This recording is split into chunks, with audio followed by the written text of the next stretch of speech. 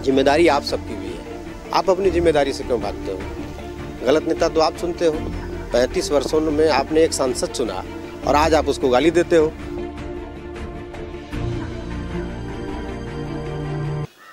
देश में इस वक्त लॉकडाउन घोषित है। लॉकडाउन का आज पांचवा दिन है। इस बीच खबरें आ रही हैं लगातार दूसरे राज्यों से, जैसे दिल्ली जैसे राज्य हैं, गाजियाबाद, नोएडा जैसे ज़िले हैं, वहाँ से लगातार लोगों के पलायन करने की खबरें आ रही हैं।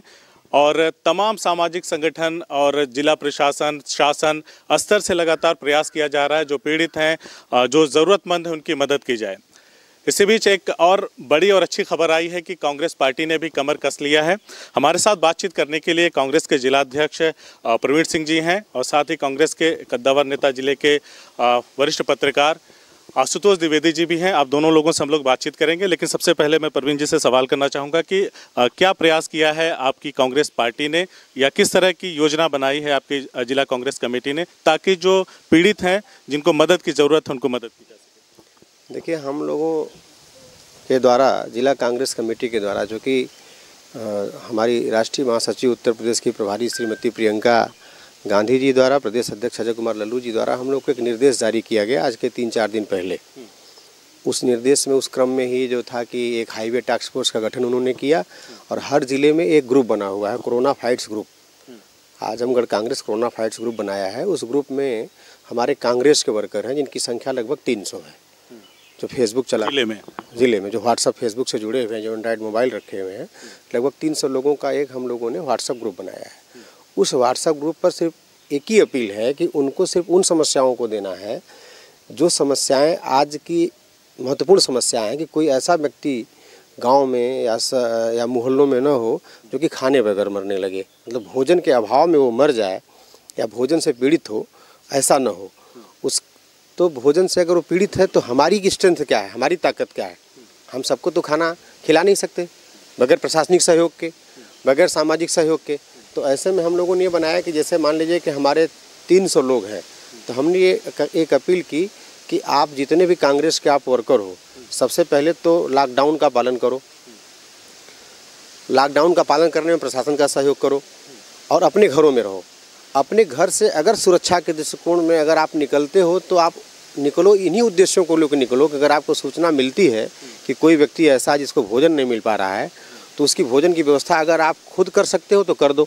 और हमारे ज़िले का ताना बाना इतना मज़बूत है कि गाँव में ऐसे लोग हैं जो कि खुद कर सकते हैं और कर भी रहे हैं। उसमें हमारे कांग्रेस के कार्यकर्ता भी शामिल हैं। एक बात तो यहाँ तक इस, जिसकी रिपोर्ट हम लोग के उस ग्रुप पर आ चुकी है।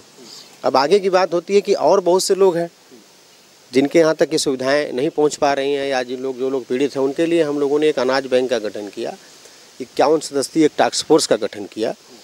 उसमें श्री आशुतोष द्विवेदी जी को ज़िले का संयोजक बनाया गया, उनके साथ ग्यारह बारह सह संयोजक बनाए गए विधानसभावार अब हम लोगों ने लक्ष्य रखा है कि जितना अधिक से अधिक हो सके। हम लोग एक हज़ार लोगों का लक्ष्य रख रखा है कि अपने जिला कांग्रेस कमेटी की तरफ़ से एक हज़ार लोगों को, जिसमें पाँच किलो आटा, पाँच किलो चावल, एक किलो दाल, पाँच सौ एम का तेल और आलू, और प्लस नमक। इतना अगर हम रख देंगे तो मैं समझता हूँ कि 20 दिन जीवन यापन के लिए 15 दिन 20 दिन के लिए पर्याप्त रहेगा। तो एक हज़ार का हम लोगों ने लक्ष्य रखा है और अभी तक हमारे पास जो कलेक्शन है लगभग दो से तीन सौ लोगों का हो गया है। चूँकि अभी परसों ही हमने मन बनाया है। कल कुछ लोगों ने योगदान भी दिया है किरानाज की दुकान पर अभी यहाँ से होने के बाद हम लोग जाएँगे वहाँ पर। तो हमारा कल शाम तक या परसों तक मैक्सिमम जो हमारा लक्ष्य है वहाँ तक कलेक्शन हो जाएगा। आपको कब तक लगता है कि एक हज़ार का जो आपने आंकड़ा पकड़ा है अनुमानित समय क्या है कब तक उस लक्ष्य तक पहुँच एक सप्ताह में। एक सप्ताह में हम पहुँच जाएँगे। और हमने उसमें ये बनाया है कि जो भी हमारे कांग्रेस के वर्कर हैं, ये जो भी लोगों की मदद करेंगे, इसको जो है ये सार्वजनिक नहीं करेंगे। मैं समझता हूँ कि ये जो समय इस समय है, महामारी के दौर में अगर कोई पीड़ित है तो उसको हम अगर भोजन दे करके उसको हम अगर हाईलाइट करें, अगर आज के परिवेश में, कभी इसका हम लेंगे जो है कभी करेंगे, लेकिन आज का समय ये करने का नहीं है। हमने ये कहा है कि आप लोग एक काम करिए कि अपने घरों पर जो सहयोग देने वाले लोग हैं हमारे, कि आप अपने घरों पर जो है, आप पैकेट बनाइए। अब पैकेट बना करके दस पैकेट, पाँच पैकेट, बीस पैकेट जो भी आपकी क्षमता है, इसी रेशियो में बना करके हमारा जो ग्रुप बना हुआ है, साढ़े तीन सौ लोगों का, लगभग ढाई सौ, दो सौ इक्यावन लोग एक तो ग्रुप बना हुआ है। उसमें आप भेज दीजिए। तो उससे भेज देंगे और आप भेज, ये भेजिए कि हमारे पास कंप्लीट ये रखा हुआ है। अब क्या होगा? और उसके बाद दूसरी चीज़ उनको निर्देश दिया गया है कि आप जो है, अपने क्षेत्र के जो पीड़ित लोग हैं उन पर नज़र रखिए। अगर आपको लगता है कि आपके ब्लॉक में 20 लोग ऐसे पीड़ित हैं जिनके पास शाम तक भोजन की व्यवस्था नहीं है या कल से नहीं रहेगी तो आप हमको सूचित करिए, हम प्रशासन को सूचित करेंगे। प्रशासन जो हमने बनाया है कि प्रशासन अपने उस संबंधित जो भी वहाँ का मातहत होगा एस से लेकर तहसीलदार तक, जिसको इन्होंने अधिकृत किया होगा, उसको सूचना देगा। और उसको सूचना देने के बाद जो हमारा वहाँ का स्थानीय वर्कर है, वो उस अधिकारी के संपर्क में आएगा।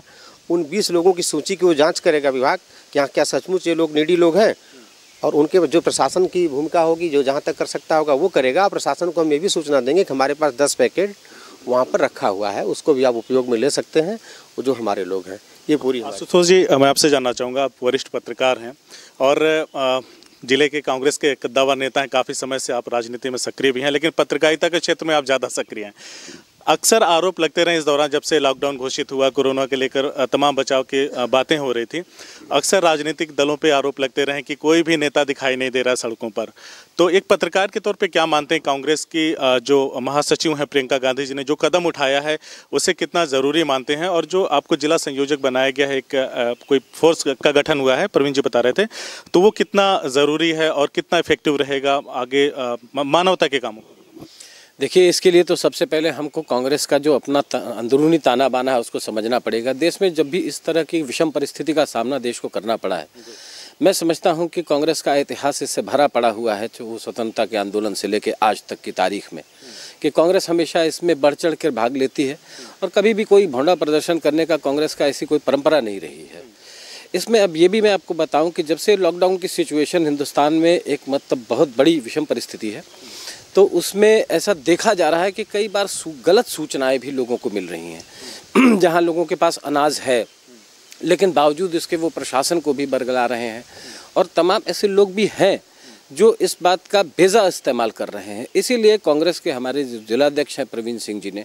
उन्होंने कांग्रेस के वर्कर्स के लिए जो अपने संदेश में कहा है प्रियंका जी के निर्देशानुसार कि हम इसका कोई प्रदर्शन नहीं करेंगे, बल्कि हम वास्तविकता का पता लगा के, चूँकि कांग्रेस का वर्कर गाँव गाँव में है ये भी एक सच्चाई है। तो जब वो गाँव में है तो बट नेचुरल बात है कि छोटी सी इकाई में वो आराम से पता लगा सकता है कि किस व्यक्ति के पास खाने का सामान है, किस व्यक्ति के पास नहीं है। जैसा कि अभी मैं आपको बताऊँ, एक हालिया सूचना है कि कल ही एक सूचना अभी ऐसी आई है जिसमें हमारे आजमगढ़ के संवेदनशील कलेक्टर हैं एनपी सिंह साहब आज उन्होंने दौरा भी किया है सुबह उस गाँव का एक मुसहर बस्ती का। वहाँ लोग एक लतरी की घास जैसी चीज़ जो परंपरागत रूप से खाते रहे कई बार, वो खा रहे थे, लेकिन उन्होंने ये कह दिया मीडिया पर बाइट में कि साहब हमारे पास खाने के लिए कुछ नहीं है। जब कलेक्टर साहब वहाँ पहुँचते हैं तो पता चलता है कि साहब उनको 27 तारीख को छब्बीस ने 26 तारीख को ही राशन बंटवाया था उस गाँव अभी भी दो तीन दिन सुबह दौरा किया उन्होंने दो तीन दिन का एडवांस राशन है और एक अप्रैल से फिर उनको बटवा जी मैं वही आपको बता रहा हूँ कि इस तरह की सूचनाओं को रोकने के लिए और साथ ही साथ प्रशासन का सहयोग करते हुए और सही बात का पता लगाते हुए और जो सचमुच पीड़ित परिवार है, उस तक मदद पहुँचे।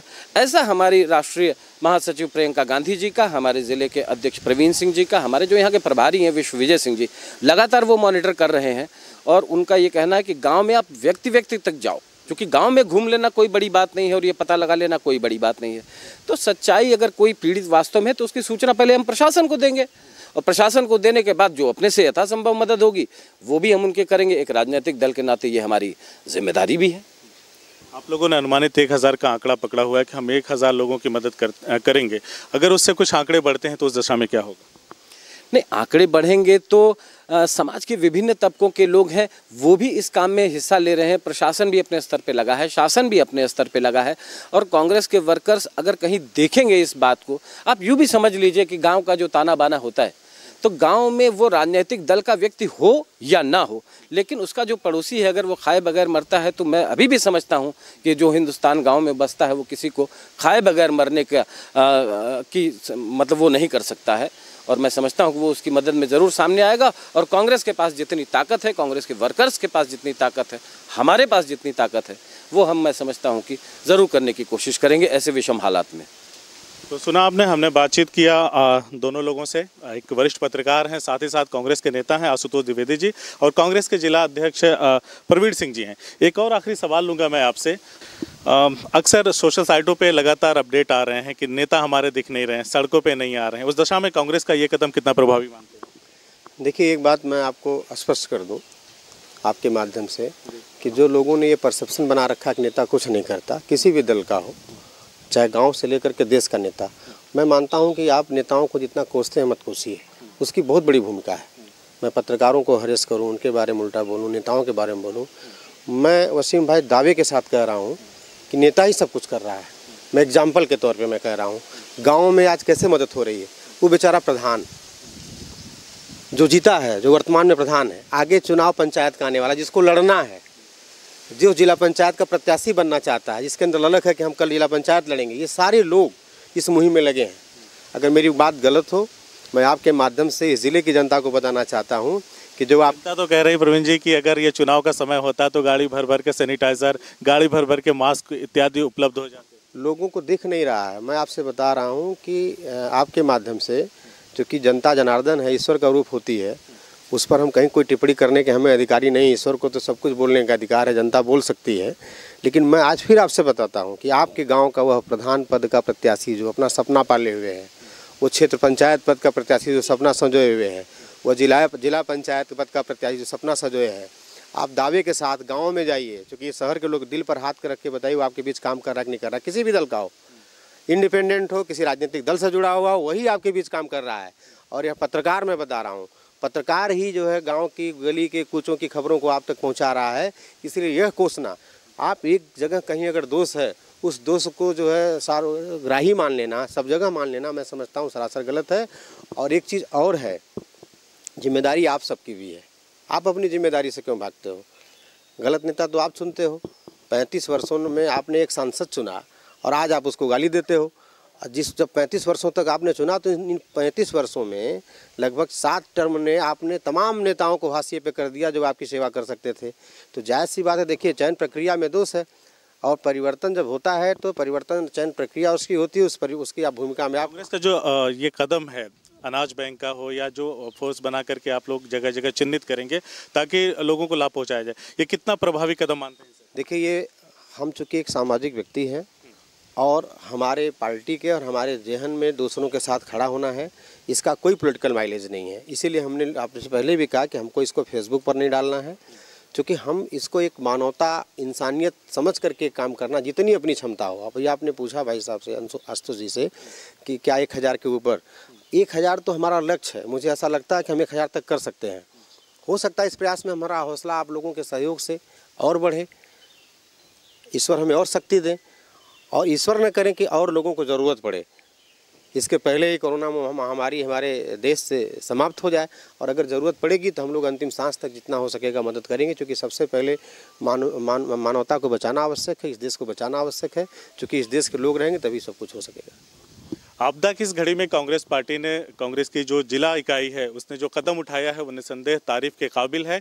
अ, ऐसे तमाम लोग जो भी अपने दायित्व को समझ रहे हैं अपने फ़र्ज़ को समझ रहे हैं आगे आकर के लोगों की अगर मदद करना चाह रहे हैं निसंदेह मानवता के दृष्टिकोण से देखा जाए तो एक बहुत बड़ा कदम है और ऐसे प्रयास लगातार हो, होते रहने चाहिए।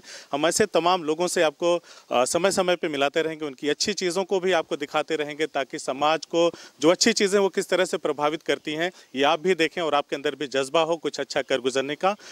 तो हमसे बातचीत करने के लिए बहुत बहुत शुक्रिया आप सभी का। धन्यवाद। सीआईबी इंडिया न्यूज़ की सभी खबरों को देखने के लिए लाल रंग की बटन को दबाकर चैनल को सब्सक्राइब ज़रूर करें। घंटी ज़रूर दबाएँ ताकि हमारी सभी खबरों के नोटिफिकेशन आप तक पहुँचते रहें।